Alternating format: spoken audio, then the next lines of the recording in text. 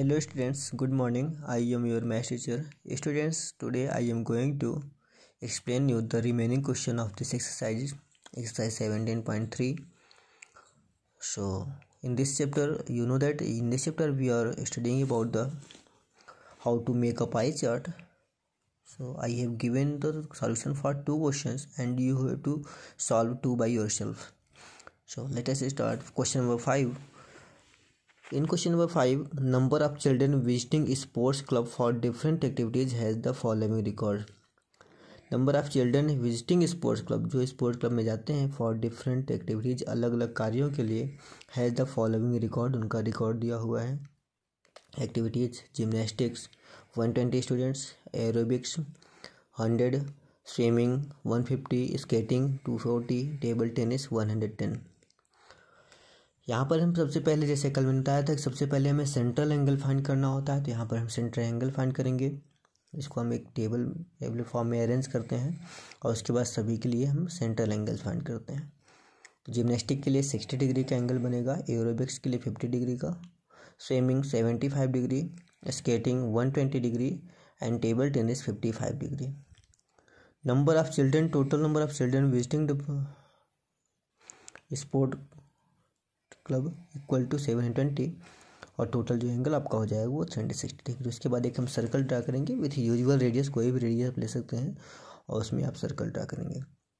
और फिर जो हमारे एंगल फाइंड हुए हैं, जैसे फ़र्स्ट एंगल हमारा जिमनास्टिक का है, वो सिक्सटी डिग्री सेकेंड आपका एरोबिक्स के लिए फिफ्टी डिग्री थर्ड स्विमिंग है सेवेंटी फाइव डिग्री उसके बाद स्केटिंग है वन ट्वेंटी डिग्री और लास्ट में टेबल टेनिस है फिफ्टी फाइव डिग्री तो इस तरीके से आप पाई चार्ट इसका ड्रॉ कर लेंगे। इस तरीके से क्वेश्चन नंबर सिक्स में भी हमें दिया गया है। तो यहाँ भी पहले इसका हम सेंट्रल एंगल फाइंड करेंगे। सेंट्रल एंगल फाइंड करने के बाद आप सर्कल ड्रॉ करिए और पाई चार्ट आसानी से ड्रॉ कर सकते हैं।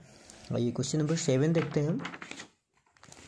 क्वेश्चन नंबर सेवन में दिया हुआ है कि यहाँ पर टाइप ऑफ़ टीवी प्रोग्राम जो बच्चे अलग अलग बच्चे देखते हैं, जैसे survey regarding number of children watching different types of programmes is given in table यहाँ पर दिया गया है टेबल में action ten students comedy fifteen drama eight science fiction seven sport five तो comedy fifteen drama eight science fiction seven sports five हमें इसे pie chart में रिप्रेजेंट करना है तो सबसे पहले इसे हम सॉल्व कैसे करेंगे? देखिए यहाँ पर से पहले हम सेंट्रल एंगल फाइंड करेंगे। एक्शन टेन है तो ten upon forty five multiplied by three hundred sixty इसके लिए मैंने फार्मूला आपको दिया था पिछले वीडियो पीडीएफ में?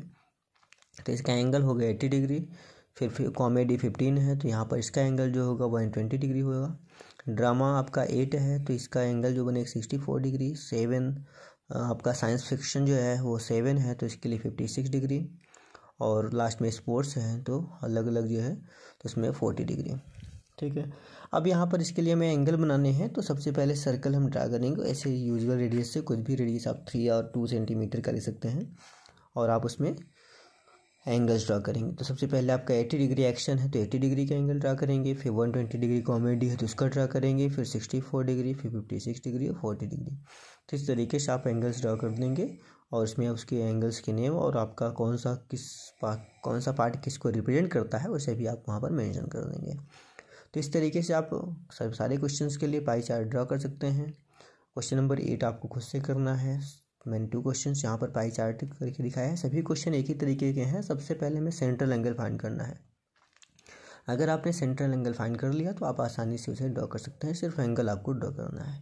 ठीक है? तो आप इस तरीके सारे क्वेश्चन सॉल्व कर लेंगे। अगर कोई भी प्रॉब्लम आपको है किसी भी क्वेश्चन में तो आप लाइव क्लास में आके उसे पूछ सकते हैं। Okay thank you